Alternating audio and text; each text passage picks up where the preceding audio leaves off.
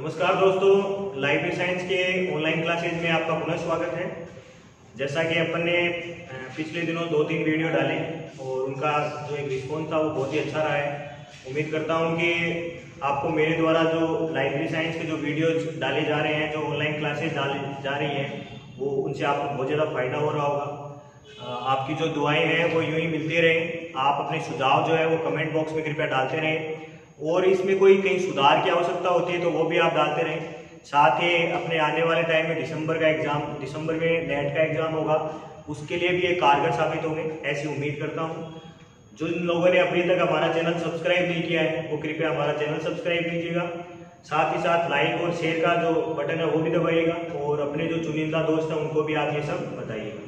आज दोस्तों अपन बात करेंगे यूनिट नंबर फ़र्स्ट का ही एक और टॉपिक जिसके अपन यहाँ चर्चा करेंगे।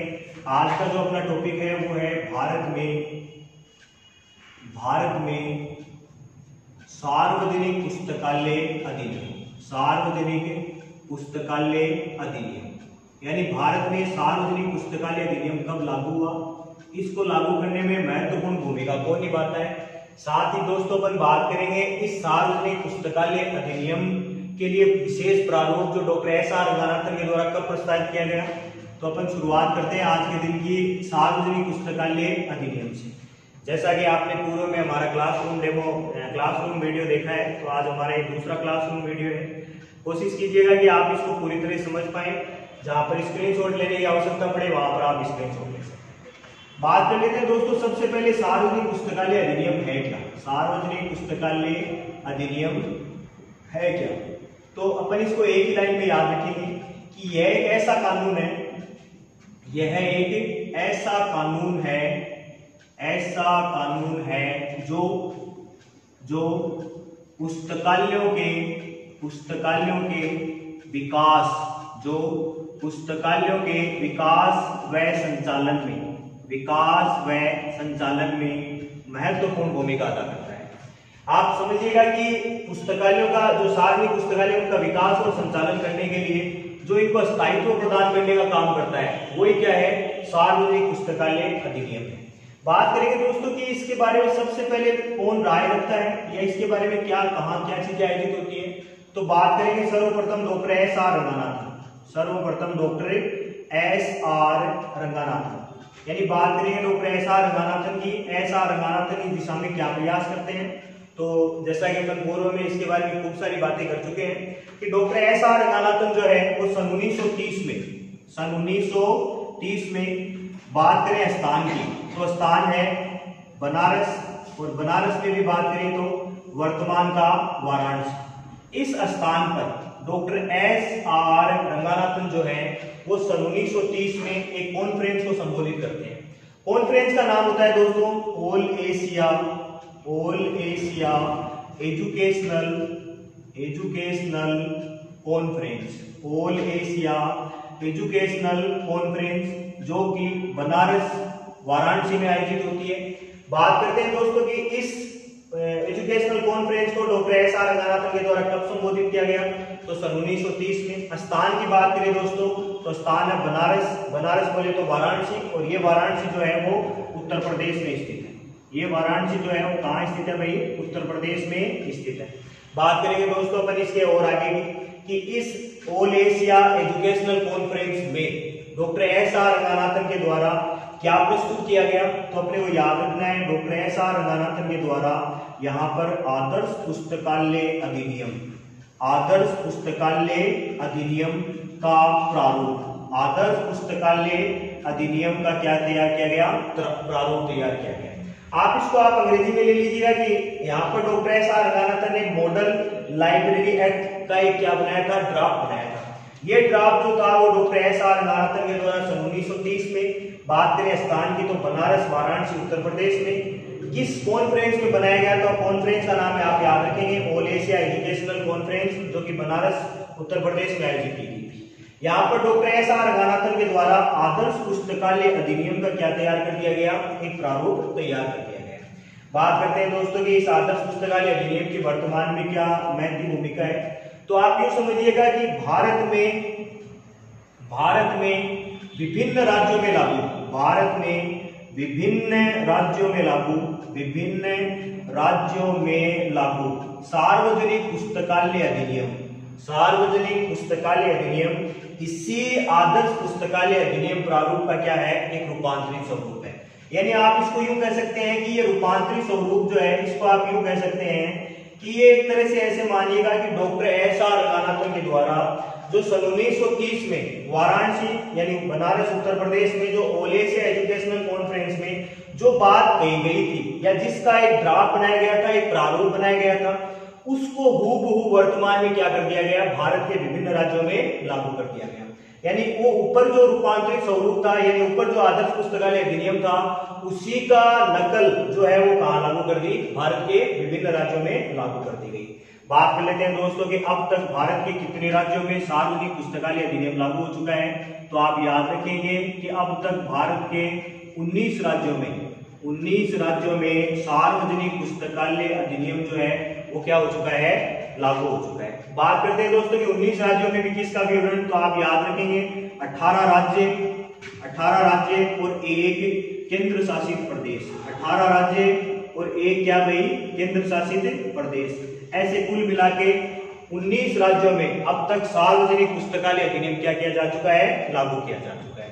बात करते हैं दोस्तों इसके आगे में कि ये सार्वजनिक पुस्तकालय अधिनियम की शुरुआत कब से और कहा से हुई? तो अपन बात करेंगे सर्वप्रथम भारत में सार्वजनिक पुस्तकालय अधिनियम की जो शुरुआत है, वो मद्रास मद्रास बोले तो तमिलनाडु। तमिलनाडु राज्य से क्या हुई? सबसे पहले भारत में सार्वजनिक पुस्तकालय अधिनियम की शुरुआत हुई।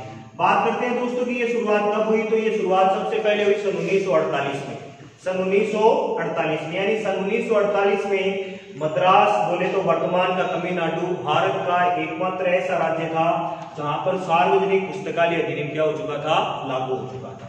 बात करते हैं दोस्तों दूसरे राज्य के रूप में तो दूसरे राज्य के रूप में भारत में, जहाँ सार्वजनिक पुस्तकालय अधिनियम लागू हुआ, वो था आंध्र प्रदेश, और आंध्र प्रदेश में यह सार्वजनिक पुस्तकालय अधिनियम लागू हो गया सन उन्नीस सौ साठ में। यानी पहला लागू हुआ है सन उन्नीस सौ अड़तालीस में, दूसरे की बात करें तो लागू हो गया उन्नीस सौ साठ में। बात कर लेते हैं दोस्तों कि तीसरा राज्य जहाँ पर सार्वजनिक पुस्तकालय अधिनियम भारत में लागू हुआ तो उसकी बात करेंगे तो वो राज्य था कर्नाटक। और कर्नाटक की बात करें तो यह भारत में लागू हो गया था सन उन्नीस सौ पैंसठ में। बात करते हैं दोस्तों धीरे धीरे उत्तरोत्तर भारत में यह प्रक्रिया बढ़ती गई और बढ़ते बढ़ते जो सार्वजनिक पुस्तकालय अधिनियम जो था, वो सन उन्नीस सौ सड़सठ में लागू हो गया महाराष्ट्र में।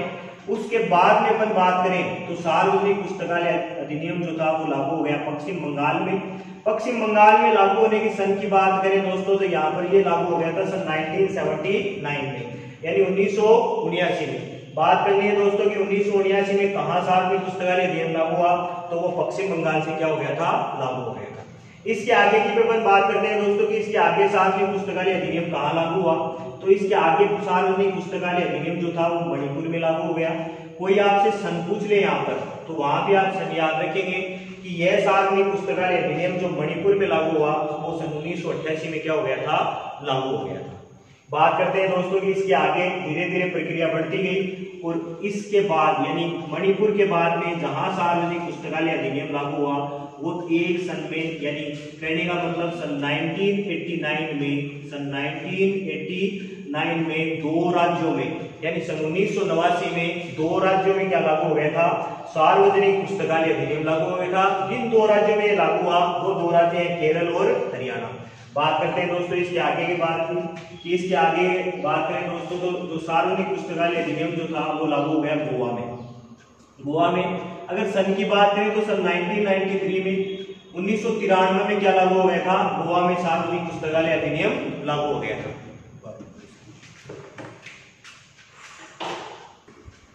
बात करते हैं दोस्तों, केरल और केरल के बाद में जिस राज्य में सार्वजनिक पुस्तकालय अधिनियम लागू हुआ तो वहाँ से पर बात कर लेंगे हरियाणा की। यानी हरियाणा राज्य में सार्वजनिक पुस्तकालय अधिनियम जो है, वो भी जो जिस सन में लागू हुआ, वो सन उन्नीस यानी 1989 था। धीरे धीरे उत्तरोत्तर भारत में प्रक्रिया बढ़ती गई और भिन्न भिन्न राज्यों में क्या लागू होते गए, सार्वजनिक पुस्तकालय अधिनियम जिसकी अपन यहाँ चर्चा कर लेते हैं। बात करेंगे हरियाणा के बाद में। तो अपने को याद रखना है कि हरियाणा के बाद में जिन राज्यों में सार्वजनिक पुस्तकालय अधिनियम लागू हुआ, वो था गोवा। गोवा में जो सार्वजनिक पुस्तकालय अधिनियम लागू हुआ, वो सन उन्नीस में। बात कर लेते हैं मिजोरम। तो मिजोरम में भी आप याद रखिएगा कि मिजोरम में भी जो सार्वजनिक पुस्तकालय अधिनियम था, वो भी लागू हुआ सन उन्नीस सौ तिरानवे में। बात करते हैं दोस्तों इसके आगे की, कि इसके आगे सार्वजनिक पुस्तकालय अधिनियम कहाँ लागू हुआ? तो इसके आगे सार्वजनिक पुस्तकालय अधिनियम जो था, वो गुजरात राज्य में लागू हो गया। बात करते हैं दोस्तों कि गुजरात राज्य में भी सार्वजनिक पुस्तकालय अधिनियम कब लागू हुआ? तो वो लागू हुआ सन 2001 में।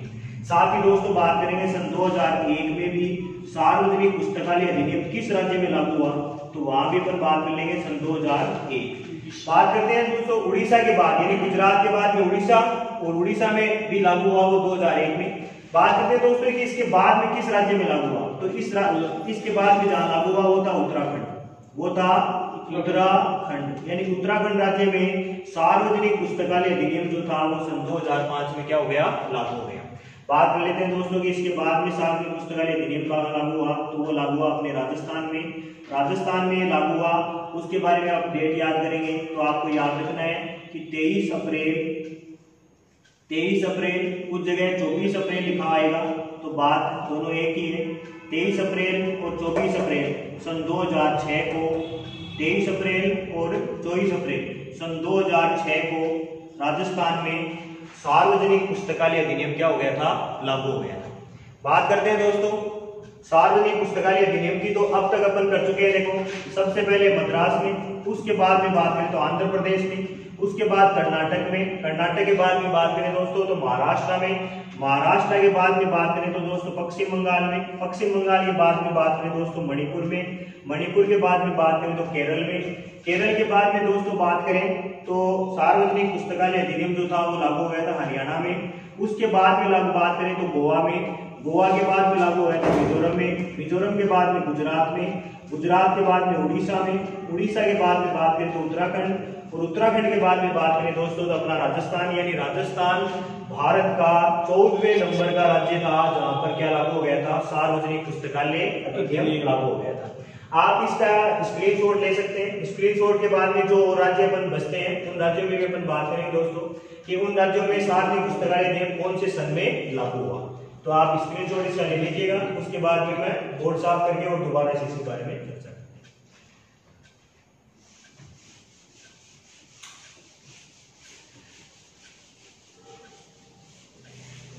बात करते हैं दोस्तों इसके आगे कि, इसके आगे यानी राजस्थान के बाद में ऐसा कौन सा राज्य था जहाँ पर सार्वजनिक पुस्तकालय अधिनियम लागू हुआ?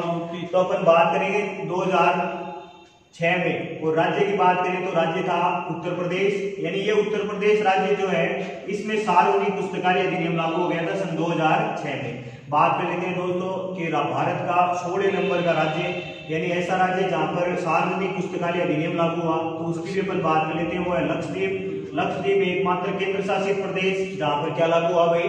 सार्वजनिक पुस्तकालय अधिनियम लागू हो गया। बात कर लेते हैं दोस्तों सत्रह, अठारह और उन्नीस, इन तीन राज्यों की भी। तो यहाँ भी बात करेंगे अपन तो सन 2008 में भारत का बिहार राज्य। सन 2008 में भारत का बिहार राज्य और बिहार राज्य में क्या लागू हो गया था? सार्वजनिक पुस्तकालय अधिनियम लागू हो गया था। इसके बाद में बात करें दोस्तों कि छत्तीसगढ़ राज्य में यानी छत्तीसगढ़ राज्य में भी सन 2008 में क्या लागू हो गया था सार्वजनिक पुस्तकालय अधिनियम लागू हो गया था। बात कर लेते हैं दोस्तों के नवीनतम राज्य, जिसमें सार्वजनिक पुस्तकालय अधिनियम क्या हुआ है? लागू हुआ है। उसकी अपन बात करेंगे दोस्तों तो वो है अरुणाचल प्रदेश। और इस अरुणाचल प्रदेश में जो लागू हुआ सार्वजनिक पुस्तकालय अधिनियम, वो लागू हुआ सन 2009 में। एक बार दोस्तों अपन इसको रिपीट करें कि जिन राज्यों में सार्वजनिक पुस्तकालय अधिनियम कौन से सन में लागू है तो एक बार आप उसका मूल्यांकन कर लेंगे। पहली बार बात करें तो सन 1948 में, दूसरी बात करें तो सन 1960 में, तीसरी बात करें तो 1965 में, चौथी बात करें तो 1967 में, पांचवी बात करें तो 1979 में, बात करते हैं दोस्तों छठवीं तो हुआ है 1988 बात करते हैं दोस्तों सातवीं तो हुआ है 1989 उसके बाद में बात करें तो दोस्तों हुआ है हरियाणा 1989 उसके बाद में 1993 फिर 1993 2001 2001 2005 2006 इधर से अपन दोस्तों बात करें तो 2006 फिर 2007 2008 फिर 2008 और फिर 2009 यानी नवीनतम बात करें कि भारत में सार्वजनिक पुस्तकालय अधिनियम के तहत किस राज्य में सार्वजनिक पुस्तकालय अधिनियम लागू किया गया तो अपन वो बात कर लेंगे अरुणाचल प्रदेश के बारे में यहाँ से दोस्तों एग्ज़ाम में प्रश्न कैसे आते हैं जैसे एक छोटा सा रेफरेंस आप याद रखिएगा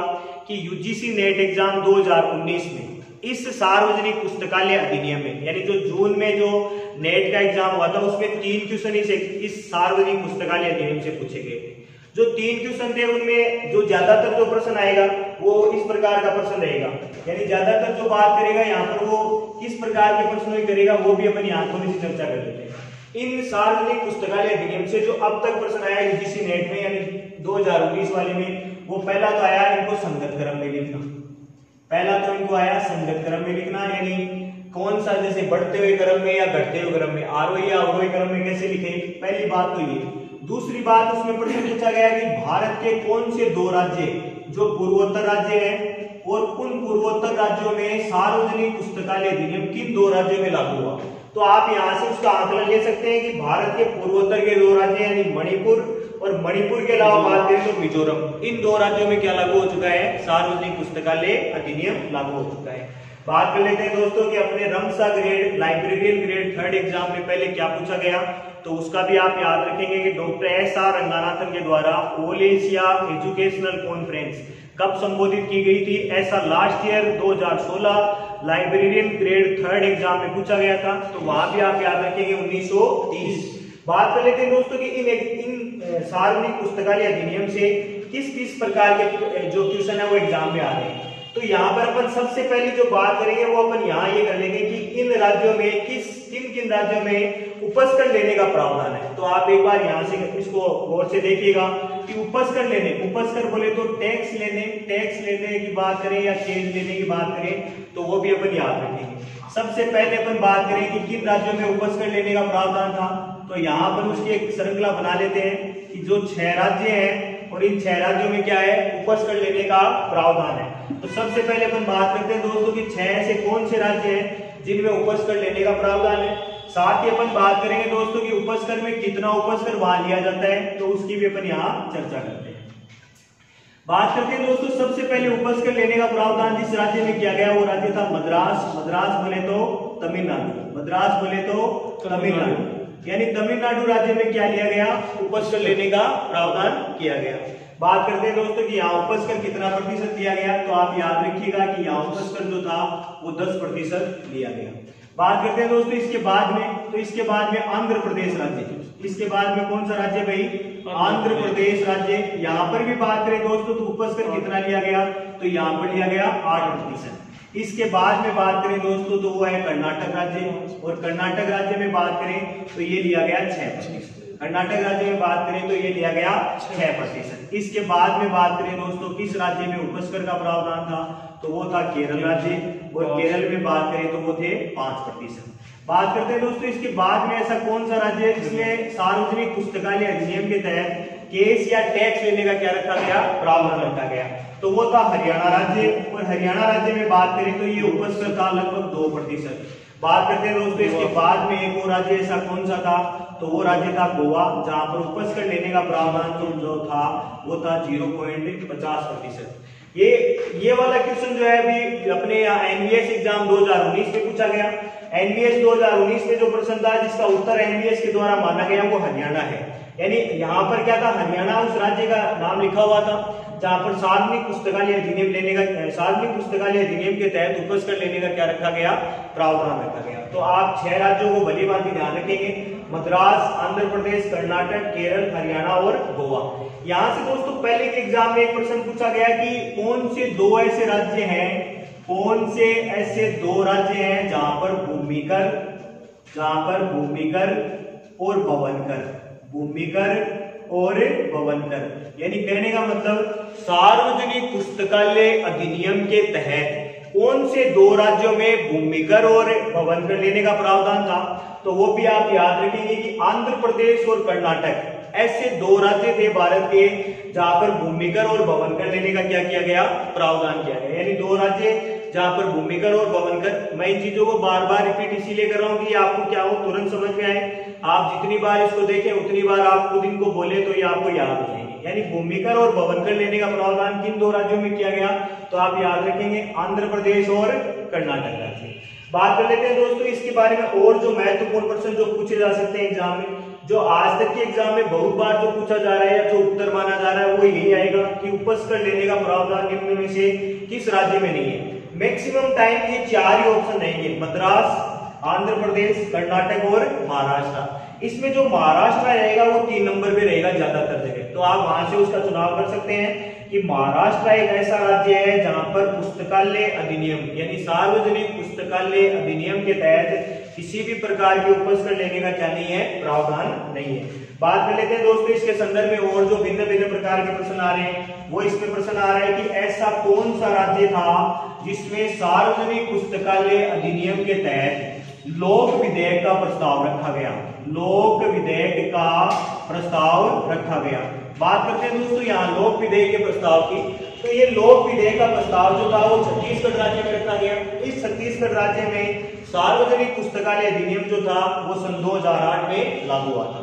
बात कर लेते हैं दोस्तों इसमें और जो प्रश्न एग्ज़ाम में आ रहे हैं, उनकी बात करें तो अरुणाचल प्रदेश। यानी अरुणाचल प्रदेश एक ऐसा राज्य है जहाँ पर सार्वजनिक पुस्तकालय अधिनियम के तहत कक्षा नौ से लेकर बारह तक के बच्चों को, कक्षा नौ से लेकर बारह तक के बच्चों हेतु पुस्तकालय को एक अनिवार्य विषय के रूप में, पुस्तकालय को एक अनिवार्य विषय के रूप में क्या किया गया है? लागू किया गया है।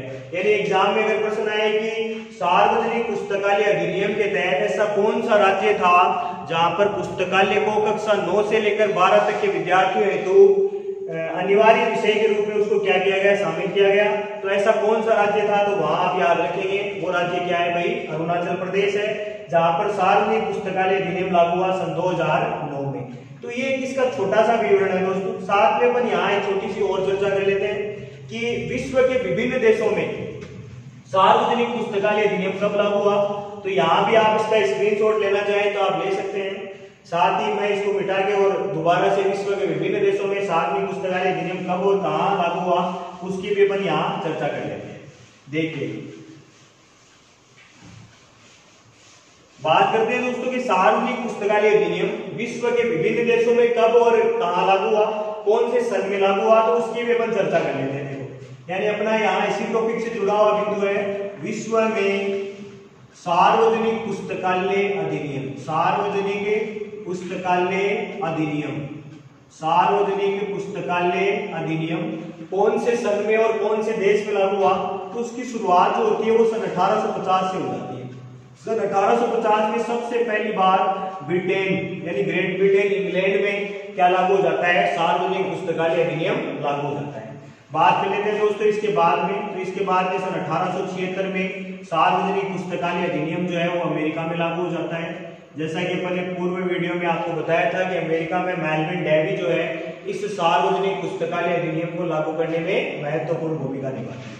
बात करते हैं दोस्तों, इसके बाद में सन अठारह सौ निन्यानवे में। अठारह सौ निन्यानवे में जिस राज्य में सार्वजनिक पुस्तकालय, जिस देश में सार्वजनिक पुस्तकालय अधिनियम लागू होता है, वो अपने देश या एशिया महाद्वीप का एक राष्ट्र, यानी जापान, और जापान में सन अठारह सौ निन्यानवे में क्या लागू हो जाता है? सार्वजनिक पुस्तकालय अधिनियम लागू हो जाता है। जैसा कि अपन पहले भी बात की कि इनको आप अगर किसी चीज़ के साथ जोड़े तो उनसे आप याद रख सकते हैं कि भारत में दोस्तों या राजस्थान में जो छप्पनिया काल था, वो छप्पनिया काल भी सन अठारह सौ निन्यानवे में पड़ा।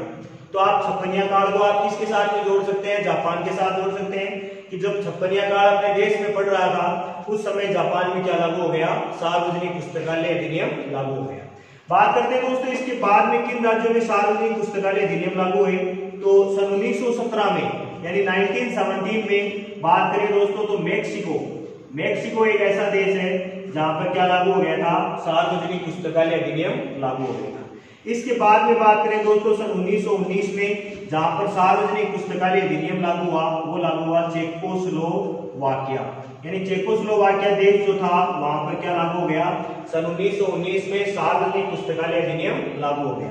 बात करते हैं दोस्तों इसके आगे की। तो इसके आगे सन 1920 में एक देश है डेनमार्क। देश है डेनमार्क और डेनमार्क में क्या लागू हो गया? सार्वजनिक पुस्तकालय अधिनियम लागू हो गया। उत्तरोत्तर प्रक्रिया बढ़ती गई बढ़ती गई। बात कर लेते हैं दोस्तों सन 1922 में किस देश में सार्वजनिक पुस्तकालय अधिनियम लागू हुआ? तो अपना उत्तर हो जाएगा रूस यानी रशिया। रशिया में क्या लागू हो गया था? सार्वजनिक पुस्तकालय अधिनियम लागू हो गया इसके बाद में अगर दोस्तों अपन बात करें तो अपने भारत का अपना शामिल कर लेंगे। और भारत में सन 1948 में क्या लागू हो गया था? सार्वजनिक पुस्तकालय अधिनियम लागू हो चुका था। यानी देशों की बात करें तो देश में सन 1850 में ब्रिटेन में, छिहत्तर में अमेरिका में निन्यानवे जापान में, मेक्सिको में 1917 चेकोस्लोवाकिया में 1919 डेनमार्क की बात करें तो 1920 रूस की बात करें तो 1922 और भारत की बात करें तो सन उन्नीस सौ अड़तालीस। यानी ये अपना एक छोटा सा टॉपिक है। इस छोटे से टॉपिक से हर बार एग्ज़ाम में दो या तीन क्वेश्चन पूछे जाते हैं। जैसा कि यूजीसी नेट के एग्ज़ाम में इसका संगत क्रम पूछा जाता है आरोही क्रम और अवरोही क्रम, यानी बढ़ता क्रम और घटता क्रम, इस पे भी इसका प्रश्न पूछा जा सकता है। साथ ही जो मैंने बीच बीच में कई चर्चाएँ की कि अनिवार्य विषय के रूप में कहा लागू किया गया लाइब्रेरी को, साथ ही लोक विधेयक का प्रस्ताव जो था वो कहाँ रखा गया तो ये सारे प्रश्न भी आप क्या कर सकते हैं, इसमें शामिल कर सकते हैं। आप जब भी YouTube वीडियो देखें, तब आप अपनी नोटबुक साथ रखें। यहाँ पर जो भी विशेष तथ्य आपको बताए जाए, उनको आप नोट कीजिए। उम्मीद करता हूँ कि मेरे द्वारा आज जो एक छोटा सा वीडियो आपके सामने प्रस्तुत किया गया है, वो आपको ज़रूर समझ में आया होगा। अगर आपको चैनल हमारा पसंद आए या वीडियो हमारी पसंद आए तो कृपया चैनल को सब्सक्राइब कीजिएगा। अपने दोस्तों के साथ में इसका लिंक जो है वो शेयर कीजिएगा। मेरा भरसक प्रयास रहेगा कि आपको लाइब्रेरी की बेस्ट से बेस्ट स्टडी मटेरियल जो है वो आपको मिल सके। पुनः एक बार आप सभी का धन्यवाद। नेक्स्ट वीडियो में दोबारा मिलते हैं।